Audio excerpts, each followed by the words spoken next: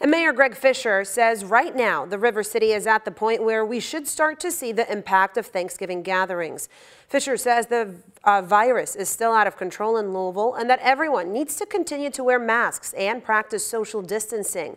Dr. Jon Klein with U of L added that 18 year olds are now the number one carriers of COVID 19 among young adults and are very capable of transmitting this virus. If you go all the way back to March, we you know we didn't see it in children because in part we weren't looking for it in children. Um, and and secondly it had not spread uh, that far uh, in into the population. Now we know children can contract this virus. Sometimes they have an unusual inflammatory